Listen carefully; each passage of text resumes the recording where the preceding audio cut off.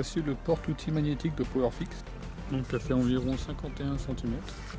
Donc on y trouve la barre avec des chevilles pour fixation pour mur plein. Donc là on voit que le système vous permet de, de faire suivre les barres si vous en achetez plusieurs.